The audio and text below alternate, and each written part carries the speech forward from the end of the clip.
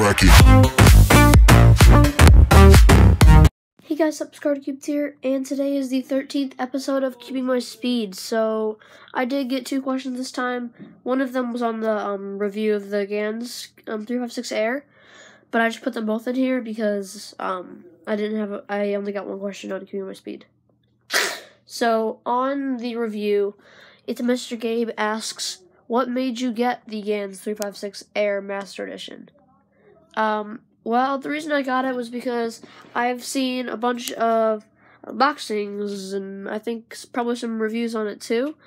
Um, neither one just disappeared, but they all just disappeared. But I've seen those and they, and they looked and they, and they looked cool. Um, and it looked and the cube looked cool, so I wanted to um try it out. And I recently had my birthday, so I got um gift cards and money and whatever. So I had some extra stuff that I could afford it. Because it is a pretty expensive cube. And I know they disappeared, but if you look back, this is what it says. Awesome Cuber asks, um, would you rather be world class and famous or an average cuber? Uh, that's actually a really hard question. But I would actually have to say just an average cuber because um, if you're world class and whatever and famous and whatever, sure you get sponsored by everything but it's also like a lot of rush when you go to competitions. You can't just, you know, people are going to be swarming you and whatever, and it's going to be kind of weird. You're not going to have like all the time that you want just to hang out and pretty much do whatever you want at the competition. You're going to have people swarming you and asking you for autographs possibly.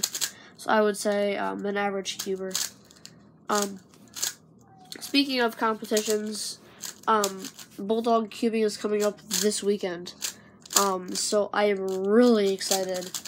Um, like, it, I'm I'm recording this on Sunday, and so that means there's like six days until Bulldog Cubing, which I'm super excited for, and I'm gonna be vlogging that, and I'm not gonna delete the footage footage like at Hillcrest Cubing.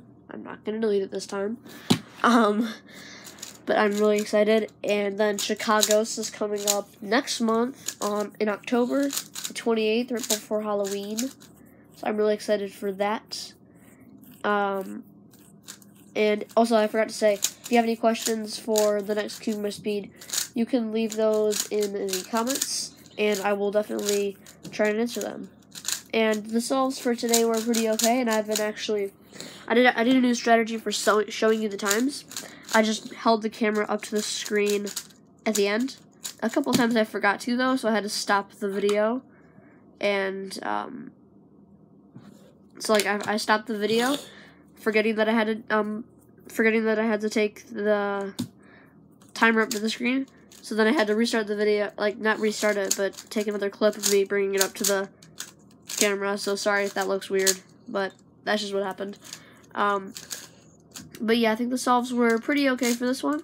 I think we have, I don't really know how many solves are left, but seems like it's taking extra long today. This might be the last one. I'm not really sure. Um, but I think, yeah, I don't think I got any, um, anything above 335, which isn't, I mean, 35 seconds. Yeah, I didn't get anything above 335 either, but I, I also didn't get anything above 10 minutes either, so I mean. Oh, and that was the last solve. Okay, so thanks for watching, and see you later.